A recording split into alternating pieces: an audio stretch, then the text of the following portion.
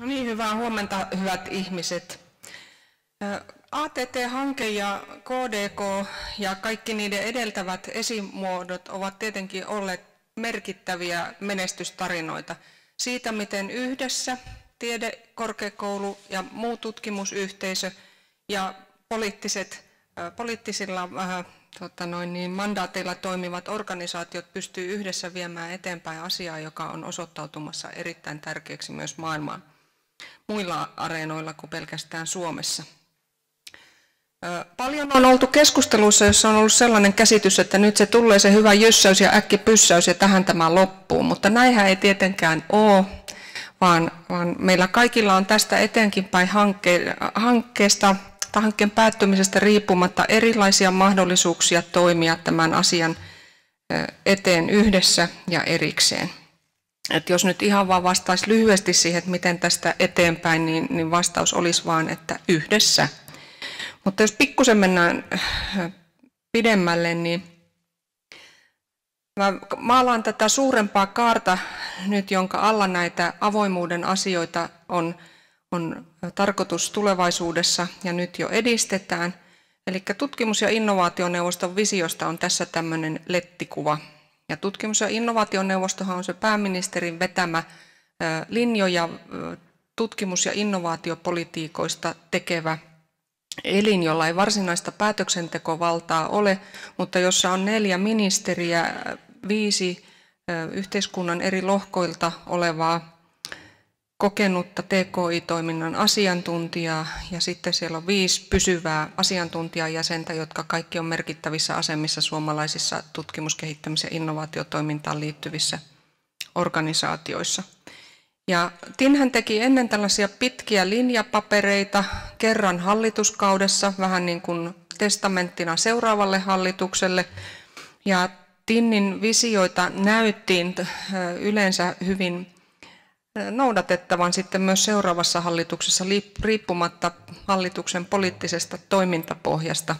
No, suomalaisen TKI-politiikan kehitys ylipäätään on ollut aika pitkäjänteistä johtuen esimerkiksi siitä, että TKI-politiikat, koulutuspolitiikat ja aluepolitiikat ovat saman asian eri puolia meidän maassamme, halusimme me niin tai emme.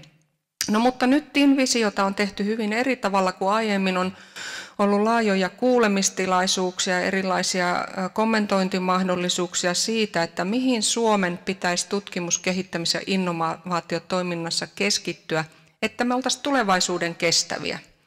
Että tämä talouskasvu, joka on nyt lähtenyt käyntiin, että se jatkuisi, että me oltaisiin osaamisen ja, ja teknologian ja tieteen ja tuottavuuden eturintamassa tai ainakin ihan sen tuntumassa tulevaisuudessakin. Ja tutkimus- ja innovaationeuvosto on kolme tällaista päätoimintahaaraa tunnistanut, eli osaaminen on se, minkä varassa tämä yhteiskunta toimii. Se ei tarkoita sitä, että pelkästään niin kuin yksilön täytyy osata enemmän tai joustavammin, vaan että yhteisöjen, joissa työtä tehdään, pitää olla kuin nopeammalla pulssilla tilanteen tasalla. Sitten osaamisalustat ja kasvuekosysteemien kehittäminen, joka on tässä tuo keskimmäinen vaaleansininen letinpalanen, niin on toinen iso asia. Eli että miten me tehdään tätä työtä välittämättä oikeastaan siitä, että miltä sektorilta tai miltä toimialalta osallistujat siihen yhteiseen asiakokonaisuuteen tulevat. Erilaiset osaamisalustat ja kasvuekosysteemit on, on sitä hallituksen kieltä, jota käytetään ja erityisesti työ- ja elinkeinoministeriö käyttää, mutta tässä on kysymys siis siitä, että, että erityyppisten organisaatiorajojen, maanrajojen, kielirajojen ja niin edespäin ei tulisi olla esteenä silloin, kun osaamisen kokoamisella on asiasta nousevat perusteet. Ja tietenkin usein ajatellaan, että täällä raukoilla rajoilla, mutta, mutta voihan sitä muullakin tavalla ajatella, meillä on vahvuuksia, joita muilla ei ole, niin meidän täytyy olla kansainvälisiä. Ja se on edellytys, ei niin, että yritetään nyt olla väivängällä vielä kansainvälisempiä ja rekrytoida se kotikansainvälikkö sinne omaan organisaation tekemään jotakin, vaan että lähtökohtaisesti ajatellaan, että ne rajat, joita täytyy ylittää, voi olla myös nämä valtakunnan rajat. Ja tässä avoimuuden tematiikassa meillä on tässä oikeastaan niin kuin iskun paikka, että kyllä ainakin Euroopassa on huomattu se työ, jota meillä on tämän avoimen tieteen eteen tehty. Ja, ja tota, siihen viittauksia kuulee melkein joka kerta, kun käy Brysselissä näissä tutkimusasioissa. Ja neljäs asia, jota nyt parhaillaan selvitetään, on se, että minkälaisia on ne strategiset tota, valinnat, joita Suomen pitäisi hallitustasolla tehdä. Ja tämä ei välttämättä tarkoita sitä, että valitaan aloja tai niin kuin toimialoja, joihin Suomen pitäisi keskittyä tyyliin metsä, metsä ja metsä, vaan että minkälaisia toimintaprosesseja Suomessa pitäisi olla, että ymmärretään, mihin ne vähät voimavarat suhteessa niin kuin maailmassa käytettävissä oleviin voimavaroihin niin tulisi kohdentaa. Mutta tästä on käynnissä siis tarkempaa selvitystyötä, johon palataan jossain vaiheessa. Ja Tämä Tinnin kehikko on, on yksi niistä kehikoista, jossa tätä avoimuutta kehitetään ja tässäkin on päästy eteenpäin.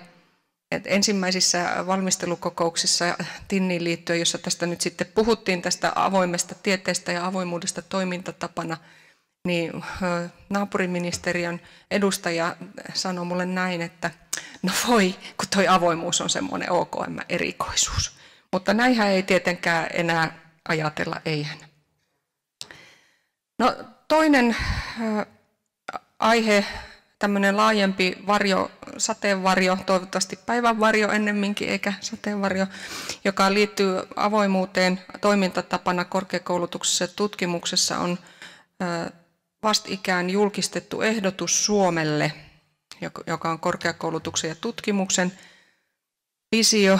Ja tämä on meidän ministeriön julkaisema, mutta tätä tekemässä on ollut korkeakoulujen lisäksi noin 4000 yksilöä, jotka ovat eri vaiheissa työtä ottaneet kantaa siihen, mitä, mitä tässä visiossa pitäisi nostaa esille. Ja, ja tässä puhutaan näistä samoista teemoista. Nostan nyt on sivistyksen erityisesti, koska se on sellainen asia, joka ei helposti nouse, kun puhutaan teknologisemmasta tutkimus- innovaatiotoiminnasta, joka on ollut kovin Suomen hallitusten suojeluksessa. Nykyään ymmärretään paljon laajemmin ja ymmärretään myös yhteiskuntatieteiden, humanististen tieteiden, erilaisten tieteenalojen yhdistelmien merkitys sille, että me päästään eteenpäin ja selvitään siitä, mikä edessä on.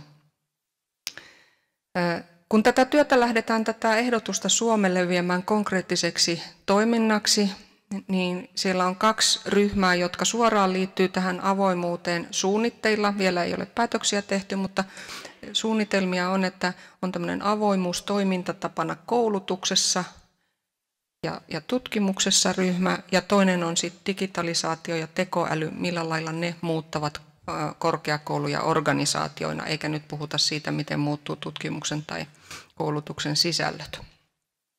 No, mutta että nämä on nyt ne teemat, joiden alla tämä meidän erittäin nopeatempoisella rytmillä etenevä hallituksemme haluaa viedä tutkimus-, kehittämis-, innovaatiotoiminnan kokonaisuuksia eteenpäin. Tässä on kaikille tuttu avoimen tieteen ja tutkimuksen visio tälle vuodelle sieltä alkuperäisestä tiekartasta. Ja hämmästyttävän hyvin se edelleenkin tuntuu niin kuin hyvin muotoilulta. Mun on helppo sanoa, kun en itse ole ollut muotoilemassa sitä, niin voi ihan niin kuin varauksetta kehua, että että tota, on, tässä on onnistuttu hyvin, ja, mutta ei kuitenkaan niin, että me oltaisiin vielä valmiita. Mutta eteenpäinhän me on tultu ihan merkittävällä tavalla siitä lähtötilanteesta. Tässä on nyt ATT-työn tuloksia listattuna. Tässä on kaksi kohtaa, jotka mä haluan nostaa nyt niin esille. En käy näitä tässä lukemaan, suurimmalle osalle varmaan ihan tuttuja juttuja kaikki. Tämä koulutuspuoli että tavallaan miten kasvetaan, kasvetaan siihen kulttuuriin, että avoimuus on normaali toimintatapa eikä jotakin ekstraa tai jotakin, jossa riistetään tutkijalta jotain, mikä hänelle kuuluu. Ja tämä koulutus on mennyt eteenpäin oikein hyvin. Tässä on ollut eri tahojen yhteistyötä ja, ja edelleenkin niin kuin, että, tota, on kehittämisen varaa, mutta, mutta esimerkiksi tämä MOOC, joka on julkaistu jo, jo viime vuonna, niin on varmasti sellainen, mikä tulee edesauttamaan sitä, minkälaista tavo- minkälaisia tavoitteita tässä ATT on aikanaan asetettu, esimerkiksi liittyen siihen tutkijan koulutukseen. Mutta yksi kurssi tai, tai niin kuin minkälainen koulutushan ei auta, jos se mindset on väärä ja tavallaan missä, vaiheessa ja minkälaisella tota, aikataululla päästään siihen, että, että tähän avoimuuden kulttuuriin tosiaan kasvetaan samalla tavalla kuin kasvetaan hyvään tieteelliseen käytäntöön, vaikka sitäkin täytyy tietysti opettaa. Ja missä määrin tässä on itse asiassa kysymys meidän arvoista ihmisinä ja, ja työntekijöinä, niin, niin on kysymyksiä, joita tuossa valmistautuessani tähän seminaariin niin mietin. Ja toinen kohta, jonka haluan nostaa esiin, on toi, ja paljon muuta. Että ei kuvitella, että tässä on onnistuttu tekemään tyhjentävä lista siitä, että mitä kaikkea on saatu aikaan. Seuraavassa kalvossa on näistä avoimuuden mittareista, joita silloin työn alkuvaiheessa valittiin, tai näistä aiheista, joita valittiin seurattavaksi. Tämä avoimuuden taso korkeakouluissa oli yksi selkeä mittari, ja, ja tota, eteenpäinhän tässä on päästy, kauhean pitkällä ei vielä olla sitten kuitenkaan, mutta minusta oli aika mukava huomata viime vuonna, ja joko se oli toissa vuonna, kun nämä vuodet vierivät, niin ripsakkaasti nykyään, niin on neuvoteltu kaikkien yliopistojen ja ammattikorkeakoulujen, eli yhteensä 37 organisaation kanssa kuluvan rahoituskauden tavoitteista. Ja yksi asia, josta jokaisen kanssa keskusteltiin, oli tämä avoin tiede ja se tavoitetaso, johon, johon tuota, pyritään. Niin erityisesti ammattikorkeakoulupuolella useampi oli sitä mieltä, että se pitää se tavoite asettaa korkeammalle kuin me OKM-valmistelussa oli näiden tulosten perusteella ajateltu koska he halusivat käyttää sitten sitä taas työkaluna, että päästään eteenpäin siellä organisaation sisällä, että tässähän ei riitä, että on joku friikki jossain, joka tietää, mistä tässä on kysymys, vaan tämän pitää läpäistä koko organisaatio. Tieteellisten julkaisujen osuus EU-arvioinnissa on ollut yksi tavoite, ja nythän tähän on tullut EU-tasolla uusi tavoite, että kaiken pitäisi olla avointa – Tämä tutkijakoulutuspuolihan on, on tokihan opintopisteitä voi harkinnan mukaan antaa jo nyt, mutta tuota, tässä on päästy eteenpäin. Ja sitten nämä uusien data-aineistojen lisensointi etsimen tuota, ansiosta on tässäkin päästy hyvin eteenpäin.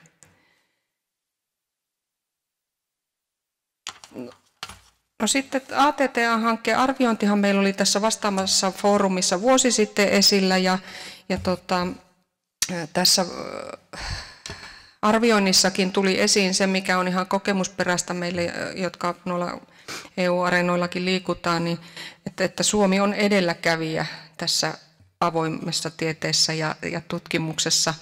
Vaikka meilläkin on niitä komplikaatioita, niin verrattuna moneen muuhun EU-maahan esimerkiksi, niin ollaan ihan ihan toisessa muodissa.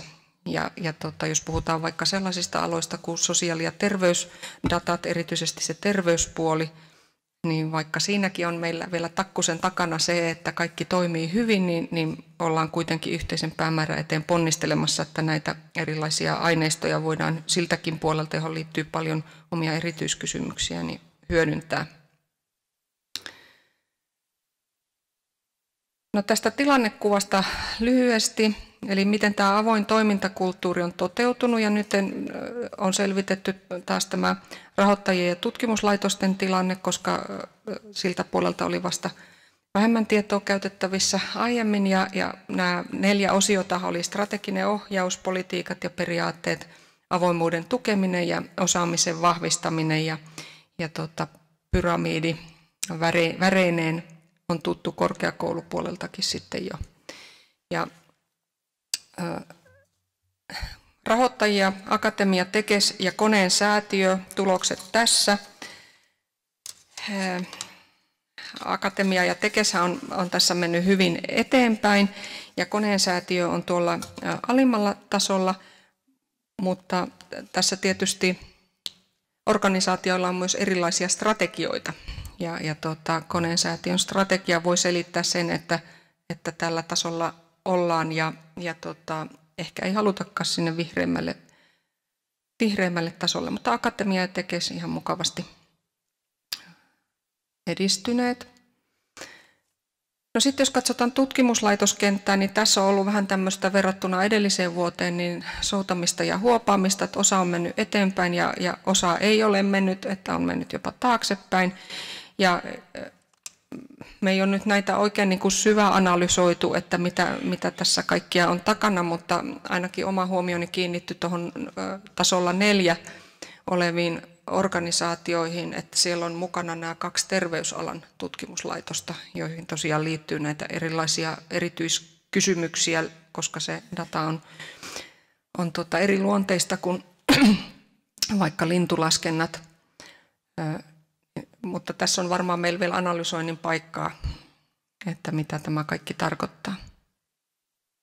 No, mutta miten sitten eteenpäin? Jos puhutaan OKM mahdollisuuksista edistää tätä kaikkea, niin, niin tässä on nyt joitain näkökulmia. Ne meidän työkaluthan on rahoitus niille organisaatioille, joita valtion talousarvio meidän antaa rahoittaa, ohjaus niillä mekanismeilla, jotka meillä on käytössä, kansainvälinen yhteistyö ja lainsäädäntö.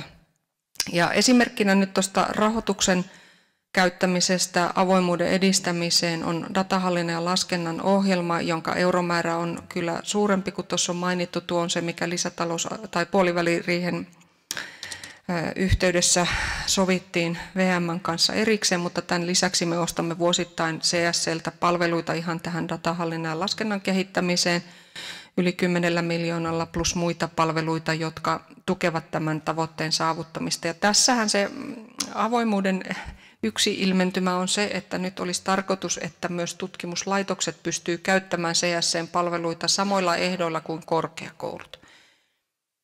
Voi vaikuttaa pieneltä asialta, mutta, mutta osalle tutkimuslaitoksista tämä on niin kuin merkittävä mahdollisuus. Tähän liittyy paljon komplikaatioita ja meidän tavoitevuosi on 2021 tuossa ohjelmassa, mutta liikkeelle on lähdetty ja hyvässä hengessä yhteistyössä tutkimusyhteisön kanssa. Tähän rahoituspuoleen liittyy myös tutkimustietovaranto, joka sekin on CSCn osaavissa käsissä tekniseltä toteutukselta ja, ja suunnittelultaan. Ja, ja tota, tutkimustietovarannon ideana ihan lyhyesti sanottuna on se, että kun tutkimustieto tai tutkimukseen liittyvä tieto on kerran jonnekin Suomessa tallennettu, niin se on kaikkien käytettävissä ilman, että se varsinainen tieto siirtyy, vaan metadatat siirtyy. Ja tähän tietenkään ei voida pakottaa kaikkia organisaatioita, mutta ainakin siinä valmistelutyössä on mukana myös muita kuin opetuskulttuuriministeriön hallinnon alan toimijoita ja, ja esimerkiksi säätiöt on suhtautunut ja tekee tähän hyvin positiivisesti. Ohjaus on keino. Mä mainitsin jo noin korkeakoulujen sopimusneuvottelut, joissa on sovittu avoimessa tieteessä ja hyvässä tieteellisessä käytännössä niiden niin kuin läpitunkevassa käyttöönotossa organisaatiossa edettävän. Ja sen lisäksi on sitten Suomen Akatemia, jonka kanssa tästä rahoittajan avoimuudesta on käyty keskustelua ja Riitta Maijalla seuraavassa esityksessä sitten avaakin sitä, että minkälaista, minkälaisia substansseja tähän rahoittajan avoimeen toimintaan liittyy. Kansainvälinen yhteistyö me, me tietenkin ollaan vaikuttamassa eurooppalaisiin tutkimuspolitiikkoihin kaikilla niillä foorumeilla, joissa meillä mandaatti yhdessä työ- ja elinkeinoministeriön kanssa on. Ja e, esimerkiksi elinke, silloisen elinkeinoministeri Olli Rehnin puhe reilu vuosi sitten kilpailukykyministereiden kokouksessa oli nimenomaan avoimesta tieteestä ja, ja tot, se oli niin kuin merkittävä herätys monelle hänen kollegalleen, että Suomessa on päästy näin hyvin tässä asiassa eteenpäin.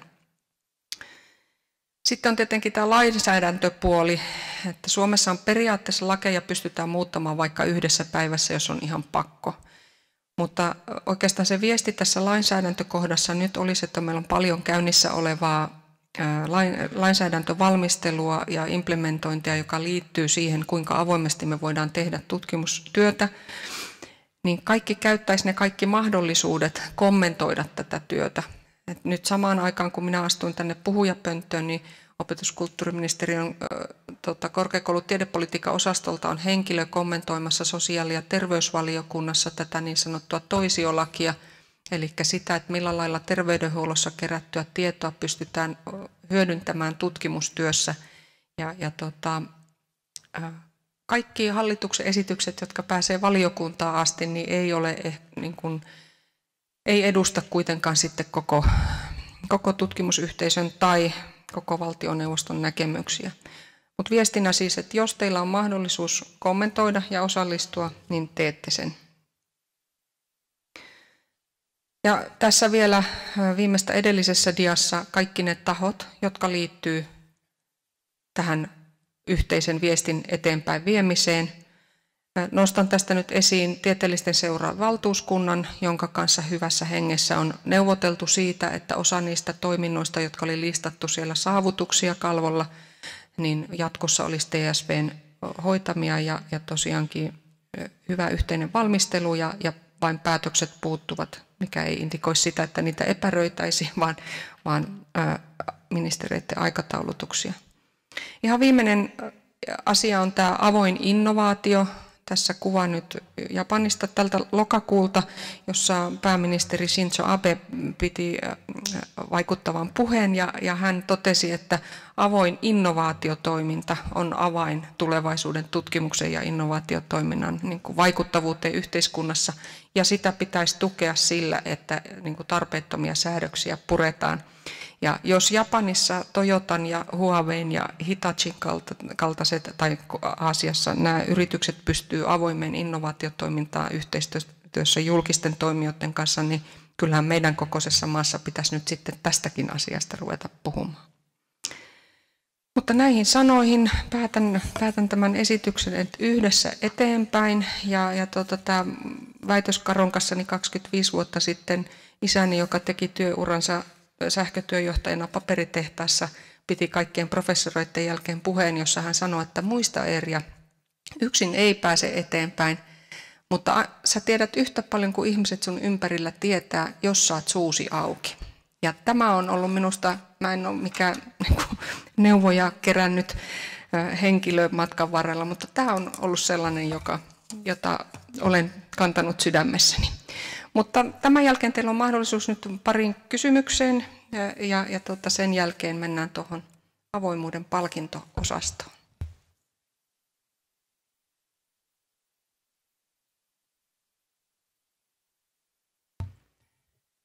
Se oli se mahdollisuus ja sitten siirrymme palkinto, palkintovaiheeseen. Ideanahan on ollut palkita seura, yhdistys tai yhteisö, jonka toiminta on edistänyt avoimuutta julkaisemisessa. Ja tänä vuonna palkinnon saa Open Knowledge Finland, avoimen tieteen ryhmä, ja palkinnon tulee ryhmän puolesta noutamaan Heidi Laine. Ryhmä on toiminut aktiivisesti avoimen julkaisemisen edistämiseksi, muun muassa kustantajahintatietojen saamisessa julkiseksi, boycott statementin taustalla ja Open Science Peer Review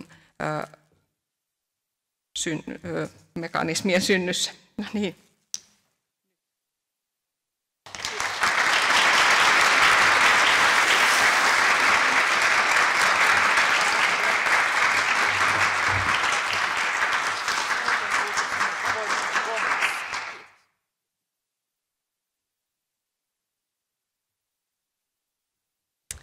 No niin. Suuri kiitos ministeriölle ja kaikille asiaan vaikuttaneille tästä arvokkaasta tunnustuksesta. Open Knowledge Finlandin avoimen tieteen työryhmä edistää avointen toimintamallien omaksumista kotimaisessa tutkimuksessa. Tämä tunnustus tuli julkaisutoiminnan avoimuuden edistämisestä, mutta me työskennellään sen hyväksi, että tutkimuksen koko elinkaari, niin tutkimusaineistojen, lähdekoodin, julkaisujen, opetusmateriaalien kuin muidenkin resurssien osalta olisi mahdollisimman avointa. Eli niin avointa kuin mahdollista, niin suljettua kuin välttämätöntä. Meille kyse ei ole avoimuudesta itse tarkoituksena, vaan välineenä demokratiaa, tasa-arvoa ja yhteiskunnan tietopohjaiseen kehittämiseen. Työryhmän monipuolisesta työkalupakista löytyy niin keskustelutilaisuuksia, lausuntoja, projekteja kuin tietopyyntöjäkin. Viime vuosien toiminnan kohokohtiin kuuluu Leo Lahden työryhmän nimissä tekemä tietopyyntö koskien tiedekustantajille maksettavia tiedelehtien tilausmaksuja. Rahavirtojen läpinäkymättömyys on ollut yksi suurimmista esteistä tiedeyhteisön ja muun yhteiskunnan huomion laajamittaiselle heräämiselle kaupallisen tieteellisen julkaisutoiminnan ongelmiin. Leon menestyksekäs tietopyyntö loi ATT-hankkeelle momentumin kerätä kustannustietoja kattavasti tutkimus, tutkimusorganisaatioista ympäri maan. Kustannuksen, kustannusten näkyväksi tekeminen kansallisella tasolla oli paitsi pioneeritoimintaa maailman mittakaavassa, myös painoi osaltaan Finelipin sopimusneuvotteluja tukeneiden ja yhteensä yli 3000 allekirjoitusta keränneiden tiedon hinta- ja No Deal No Review-kampanjoiden onnistumisessa. Kampanjat ei varsinaisesti olleet osa avoimen tieteen työryhmän toimintaa, mutta niiden takana oli työryhmäaktiivit, minkä lisäksi työryhmä tuki kampanjoita pienimuotoisesti myös taloudellisesti. Muihin työryhmän viimeaikaisiin avauksiin kuuluu lisäksi opetusministerille suunnattu avoimen tieteen tutkimusetiikkaa tukevaa vaikutusta koskeva lausunto sekä kansalaistieteen avoimuutta edistävän potentiaalin pohdiskeleminen ensin osana ATT-hankkeen rahoittamaa avoin kansalaistiedeprojektia ja sen jälkeen muun muassa Mikrohistoria Wiki-projekti aiheon tiimoilta. Vaikka työryhmällä ei ole virallista jäsenistöä ja sen toiminta on avointa kaikille, on olemassa joukko nimiä, jotka toistuvat työryhmän toiminnassa ja mä haluaisin tuoda ne tässä esiin. Konsta Happonen, Mikael Laakso, Leo Lahti, Joona Lehtomäki, Samuli Ollila, Jessica Parlanvon Essen, Tuuli Toivonen, Mikko Tolonen, Susanna Oonäs. Monet näistä henkilöistä on paikalla täällä tänään. Sekä tietysti Open Knowledgein toiminnanjohtaja Teemu Ropponen, jonka positiivinen asenne ja energian määrä jaksaa alati hämmästyttää. Viimeksi mainittua lukuun ottamatta kaikki osallistuu toimintaan vapaaehtoisuuden pohjalta, muiden töidensä ohessa ja joskus kustannuksellakin. Työryhmätoiminnan jatkuvuus on koko ajan vaakalaudalla, kun aktiivit tasapainoilee eri suunnista tulevien vaatimusten ja velvollisuuksien ristipaineessa. Tämä ei toki ole poikkeuksellista tiedeyhteisössä. Tieteellisillä seuroilla ja tiedeakatemioilla on vuosikymmenten, ellei vuosisatojen perinteet tieteen edistämisessä vapaana kansalaistoimintana – Nämä ei ole uusia vaatimuksia avoimen tieteen keskusteluissa, mutta tuonne esiin toiston uhallakin. Tutkijoita pitää palkita muustakin kuin artikkelijulkaisuista ja tutkijan uran pitää mahdollistaa horisontin ulottaminen seuraavaa rahoitushakua pidemmälle sekä tutkimuksen tekemisen että oman taloudellisen toimeentulon osalta. ATT-hankkeen jälkeisessä ajassa on kriittisen tärkeää, että tieteen ruohonjuuritasoa ja erityisesti nuoria tutkijoita osallistetaan avoimen tieteen kehitykseen, enkä tarkoita vain kuulemista, vaan myös ratkaisevien päätösten tekemistä. Kiitos.